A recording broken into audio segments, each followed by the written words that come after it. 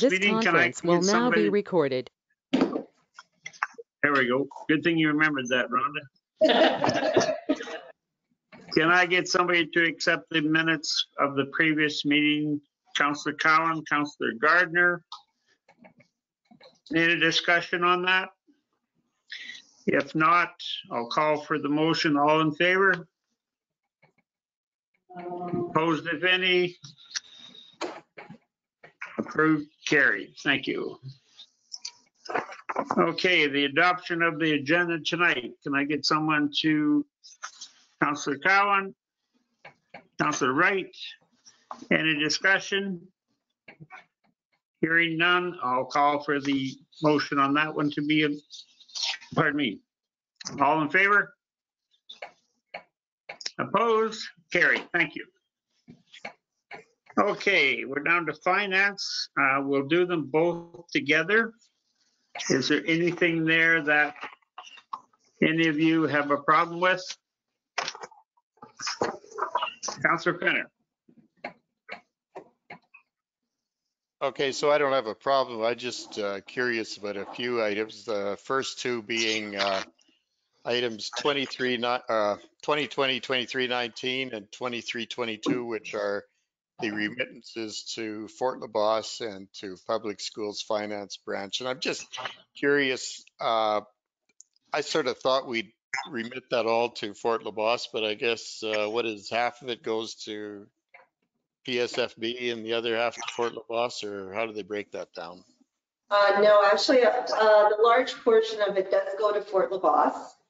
Um, I believe this year it was a total of about 1.1 million.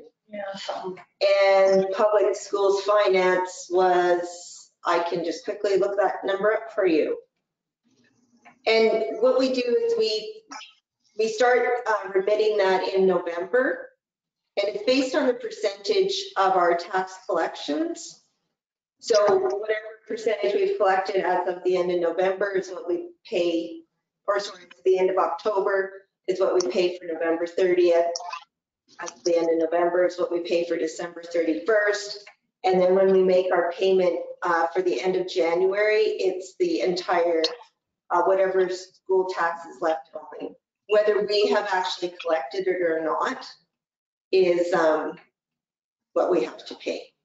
Okay, thank you. I- Uh, I'll just, I'm just getting you those total numbers here, maybe. What is going on?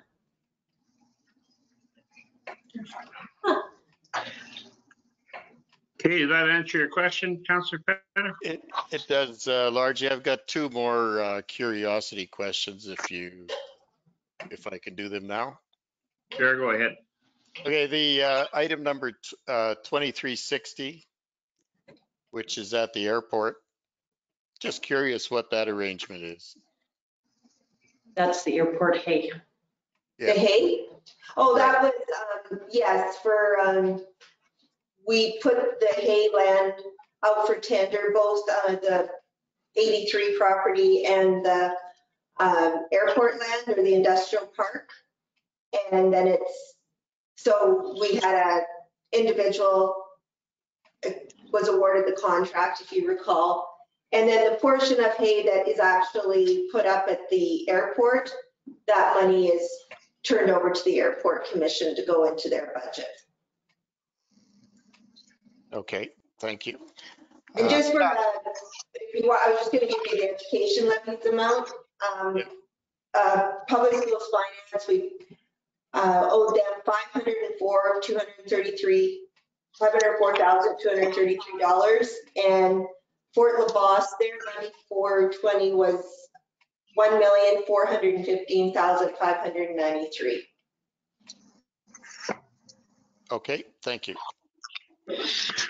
Okay, is there, I guess we'll get a motion to pay these bills. Counselor Cowan, seconder? Counselor Penner, okay, any more discussion on these? Counselor Wright? Just had a question about um, duh, duh, duh, 23, 23, and 2312, um, the cell phone allowances, should those not come out of the, the WEG budget? Well, we actually pay the bills for the WIG and then that's exactly, it- and then we're reimbursed from WIG. Okay, Yeah. We do, we then charge, because we also pay, make the payroll, do the payroll for them as well.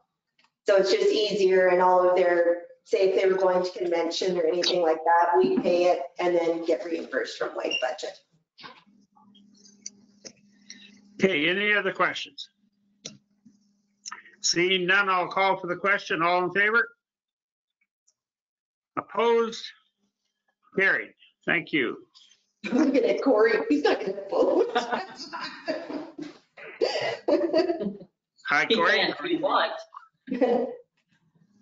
Okay, we'll move along to number four, and this is where I'm assuming we're going to be using Corey. So Rhonda, I'll turn this one over to you, please. Okay, uh, you have before you road opening bylaw 2786. And this is actually to open the roads in the CNR, sorry, EHR, that one. Uh, you know what? I'm just gonna turn it over to Mr. Nixon. I was get confused between CNR and EHR. Hi, can you hear me? Yeah. Okay, um, so yeah, through this subdivision, uh, we did a plan of survey and a plan of road opening. So we have to do a road opening bylaw for this. Um, so this is the CHRL, uh, subdivision out by the White Alder on Anderson Street. Um, you want me to read the bylaw? Um, We have it. That's okay. I think they've all, We have the bylaw. Yeah. Um, yeah, so this would be first read of the, um, bylaw and it, you have the map in front of you there. Those are the roads and the one back lane we're opening with this. And the reason We went this way instead of doing a plan of subdivision is our surveyors thought it was a better idea due to some oil things. It's kind of what we got explained to. We're not sure why they did it. It would have been easier going the other way, but this is the way we're going. Yes, normally, and we did have our public hearing because we had understood, as we normally do subdivisions, that the roads would be opened as part of the actual subdivision, that we wouldn't have to do a separate road plan. But the surveyor, because of mines and minerals, yes, like Corey said, decided to do a separate road plan. So it's unfortunate, like, sorry, I feel it is unfortunate because now it's adding that extra step to the subdivision process but we're kind of in, because we want to get this wrapped up as soon as possible. Uh, we don't want to go back to redoing the whole plan of subdivision, because I believe that would, it would delay it quite a bit more, right, Cory? Yeah, it'd be two to three weeks. Uh, well, they'd have to make the new plan and then two to three weeks to get it approved and then back to us for approval. And then there's a hydro easement involved, so then it'd be back, they'd have to start the hydro easement again and that's another six weeks or better. Um, so this is just a better way to go at this point. So if council so desires, they can uh, give first reading to this bylaw tonight, and we will send it into community planning uh, for them to look at it and decide if they feel they need to circulate it still, because this whole subdivision had been circulated once, so. Okay, so we'll uh, need a motion on this then. Tara, did you have a question? No, I'll just make the motion for first Okay. read. Grant's going to second it. Okay, any more discussion? Everybody understands what we're doing? No more que- questions for Corey? Okay, I'll call for the question. All those in favor of the motion? Opposed? Carried. Thank you. Thanks, Cory. Bye, Corey. That was easy. Okay. Thank you, Corey. He's gone. All right, number five, recommendations from planning and finance. Counselor Williams, I'll turn this over to you, please. Okay. Um, My first recommendation from Planning and Finance is for the 2021 Southwest, Southwest Expo sponsorship. I would like to make the motion that the town of Virden provide Southwest Expo 2021 with a $500 sponsorship and a $1,000 pitch prize for a Virden business. Can I get a seconder for that, please? Counselor Cowan. Any discussion? I believe, uh, Counselor Williams, this was the same as we gave last year? Yeah, th- this is the same we've done since this started, yes. Great, okay, thank you. Any questions, anyone? Counselor Penner. Do we know where this event is taking place? Virtual online event. Okay, thank you. Any like other, everything else. hearing none, I'll call for the question. All those in favor? Opposed, if any? Carried, thank you. Carry on, dear. Um, my next motion is for the Manitoba Planning Conference. It'll be held virtually online for half days on January 19th, 21st, and January 19th, 21st, and 22nd. And I would like to make the motion that all members of council be authorized to attend the Manitoba Planning Conference for those days with expenses per policy being paid. Can I have a seconder for that motion, please? Counselor Gardner. Any discussion? Hearing none, I'll, well, Counselor Penner? No, Just a okay. quick question. Uh, can I, uh, Rhonda, do you know who's all registered?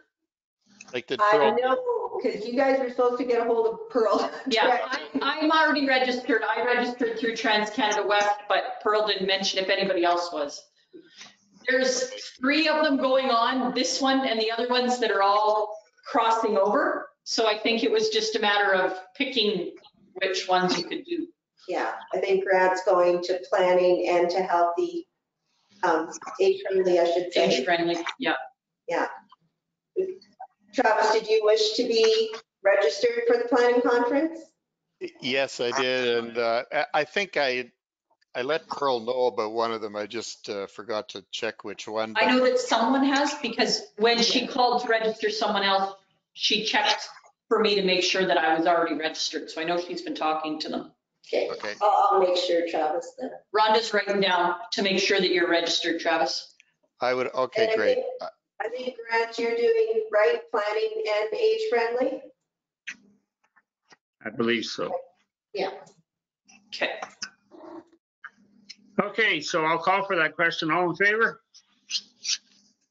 Opposed? Carried. Thank you. Carry on, dear.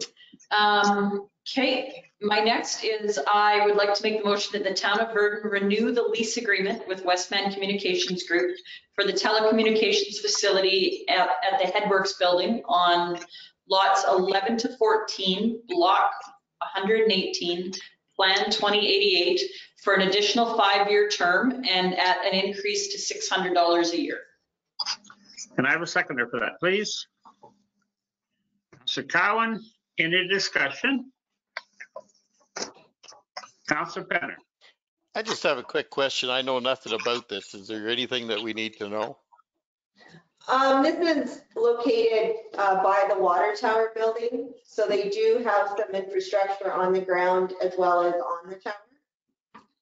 Like Some tower on the tower. Yeah. And this has been ongoing, like they have a generator there and that type of stuff. Yeah, it's kind of, it's an on, yeah, it's an ongoing, it's been for quite a few years. Yeah. And it it was 500 on the previous lease and they, they offered the increase to 600. Okay, any other questions? Hearing none, I'll call for the question. All those in favor? Counselor Cowan and Counselor Carl. We got them two happy. Good. Okay, let's carry on. I I lost track there, folks. Bear with me.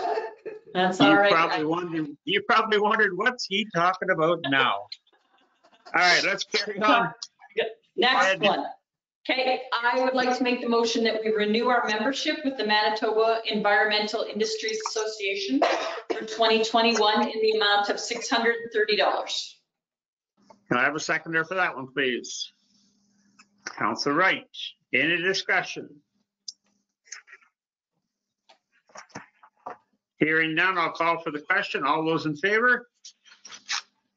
Opposed? Carried. Thank you. Carry on, dear. I'd like to make the motion that the town of Virden renew their membership with the Hudson Bay Route Association for 2021 in the amount of $100. Can I have a seconder for that one, please? Counselor Gardner? Any discussion? Hearing none, I'll call for the question. All those in favor? Carried. Thank you. Carry on, dear. Okay, I'd like to make the motion that any members of council be authorized to attend the Healthy Communities and Healthy Communities are Age-Friendly Communities webinar, the morning of January 19th, 2021, with expenses paid for policy. And a seconder, please. Counselor Gardner. Any discussion, folks? Seeing none, I'll call for the question. All those in favor? Opposed? Carried. Thank you. Carry on, dear. Okay, and I'd like to make the motion that any members of council be authorized to attend the Red River Basin Commission Virtual Annual Conference on January 21st, 2021, with expenses being paid for policy. And can I get a seconder? Counselor Cowan, thank you. Any discussion? Hearing none, I'll call for the question. All those in favor? Opposed? Carried. Thank you. Carry on, dear. That was my last one. I'm done. God, you you did a good job. You did better than what I did. Thank you. Okay. Let's move along to number six. The Boost Committee 2021 membership. And Rhonda, I'll let you handle that one, please. Okay, thank you. Um, Per their terms of reference, uh, the Boost Committee um, members are to be ratified by the Town Virden Council each year. And uh, this year, we've actually had some changes right near the end of it. Uh, And um, unfortunately, Paula Brazel and Lance McLean both submitted uh, their resignation, uh, obviously because Paula moved away and Lance was a time commitment. Uh, But they were able to recruit uh, Bia Norton. So there's the list, so uh, that's the way the resolution's worded. um, That the town of Virden appoint Bia Norton to the Boost Committee effective immediately and accept with regret the resignation of Paula Brazel and Lance McLean. And further that, the 2021 Virden Boost Committee members are as follows, Tiffany Cameron, Krista Mellon, Clayton Murray, Grant Gardner, Bia Norton, and Liza Park. Great, thank you very much. So do we need a motion on that one, dear? Yes, please. I'd make Okay. that motion. Counselor Williams, seconder, Counselor Wright. Any more discussion on that, please? Hearing none, I'll call for the question. All those in favor? Opposed, if any? Carried. Thank you. Number seven, Manitoba Good Roads, and I'll let you handle that one too, please, dear. Um, just, uh, wanted to bring to council's attention the list of the 2020 Manitoba Good Roads Association beautification competition. Unfortunately, I don't see any property from the town of Virden named this year. But, um, you know, that's, as being a member, that's the one thing that they do do. They come out and critique your community. And of course, if you recall, we did enter a yard in the competition for the yard. Um, But unfortunately, no one, we weren't successful this year, but hopefully in another year. And of course, there's not going to be a uh, banquet at this time. Excellent, thank you very much. So can I get a motion to, I guess they said, No, no, we don't need a motion on this one? no, just info. Info, yeah. And then number eight, uh, the membership renewal, that's part of, right? Exactly, yeah. Okay, so we've done this year after year, I recall, Mhm. And our membership is $200. So can I get somebody to make the motion that we accept that as presented? Counselor Gardner, seconder. Counselor Cowan. Any discussion regarding Manitoba Good Roads Association membership? Seeing none, I'll call for the question. All those in favor? Opposed, if any? Carried. Thank you. Okay. Number nine. Changes to our provincial offices, and I'll let you take that one too, please, dear. Um, yes, we became aware of some concerning information last week, uh, that there have been changes to the rural service delivery model in our provincial agricultural centers across the province. Um, these changes came about without, I don't believe, any stakeholder engagement, uh, no discussion with local uh, councils at all, or like I said, the other stakeholders, including, obviously including the farming sector, agricultural sector. And um, so what is going to happen here in Virden is that uh, Virden office will continue to provide workspace only for Manitoba agricultural and resource development employees, but will no longer be open to the public. So we are one of one, two, three, four, five, six, seven, eight, nine offices uh, throughout rural Manitoba who are losing public access, losing a service, a very vital service to our community, to our surrounding community. And also, also just to our businesses in town, because if, if our local farming community aren't coming to this office to get help with their claims, with their insurance, they're going to other service centers.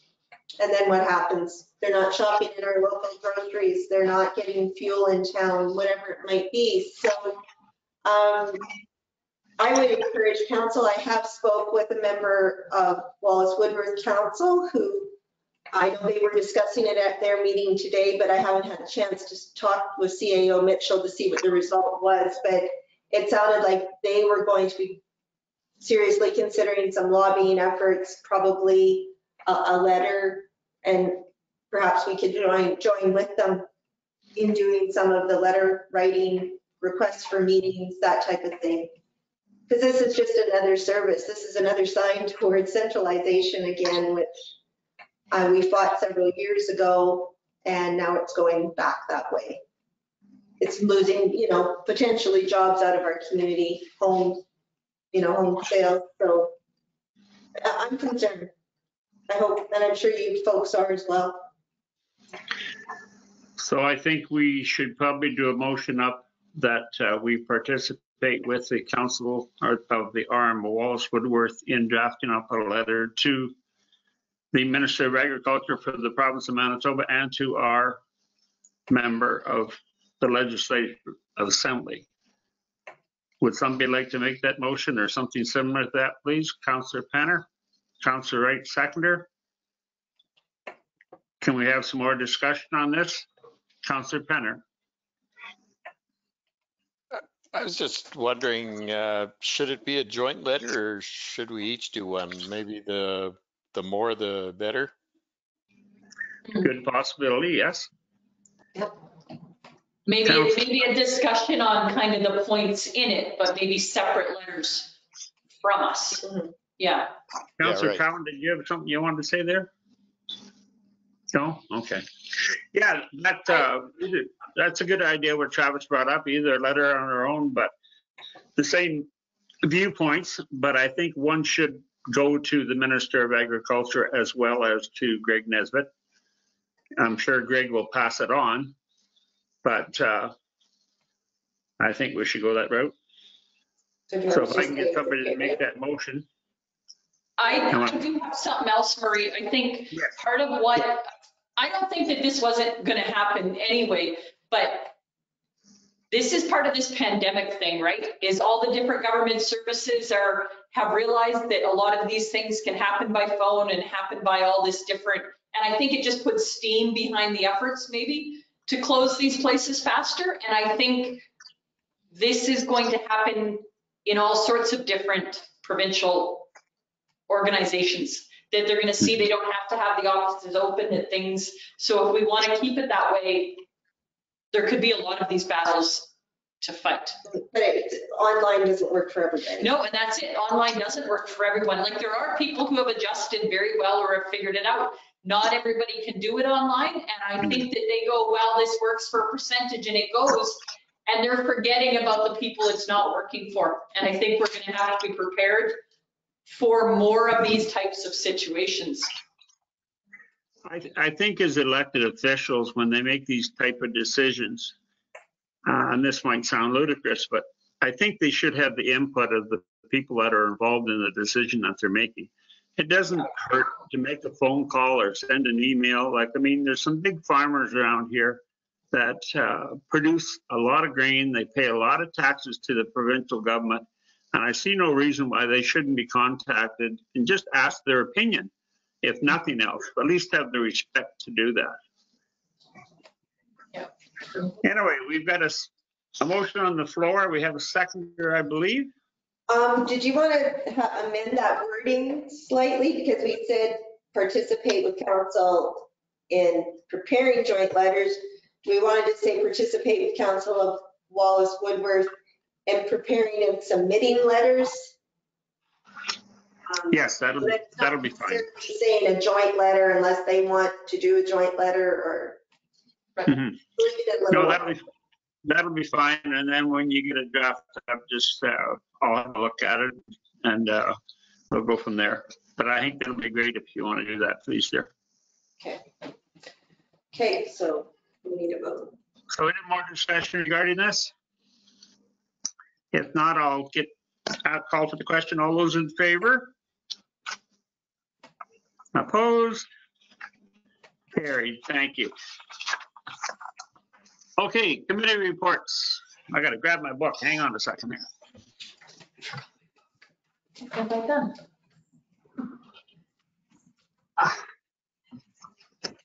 Okay, Carl, we'll let you start tonight. Seeing as it's the first meeting of the year, you can be number one.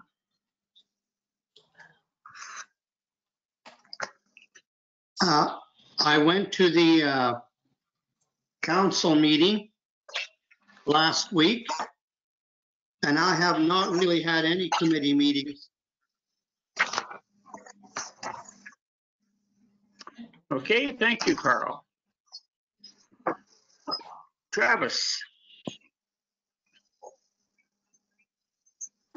Okay, so, uh, of course, we had our very long, large agenda planning and finance meeting, uh, and we got through that okay.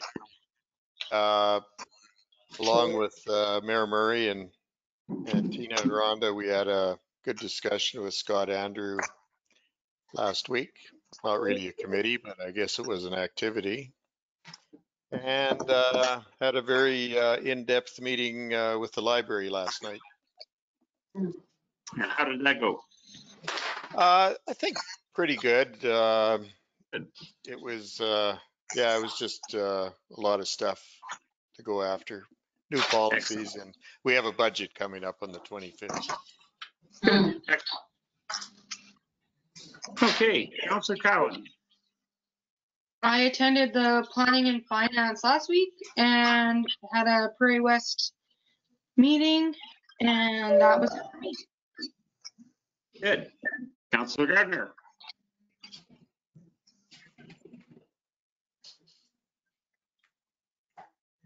Okay, I had the uh, planning and finance meeting uh, last week on the 5th, and also I had a vet board telephone text meeting, I guess you want to call. uh, Passed some motions and figured out year-end stuff. There'll be a report coming uh, in- into the vet board uh, on all that so it can be reviewed. And I think that's all I had. Good, thank you. Councilor Wright. I had a Prairie West and the um, uh, planning and finance.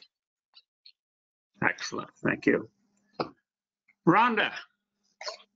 Um, well, I guess it looks like we're just starting from the new year, right? Nobody went back to the previous council meeting. Nope. Because we had joint council meeting, several other stuff. So I'm just gonna start with the new year as well. P and F, uh, Mayor Wright, Deputy Mayor Williams and myself met with Manitoba Justice. Um, if you recall back when we had AMM, uh, they, the minis, we had been offered to have minis, meetings with ministers. And this meeting with Manitoba Justice was as a result of our request to meet with them.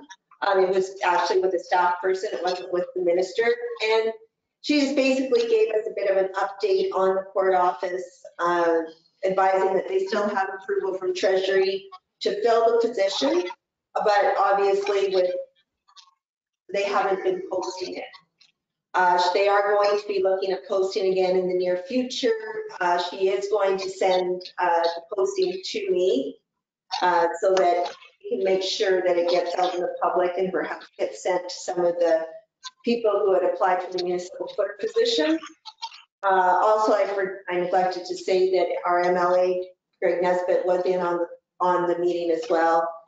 And uh, she is committed to following up with us again in March, just for an update.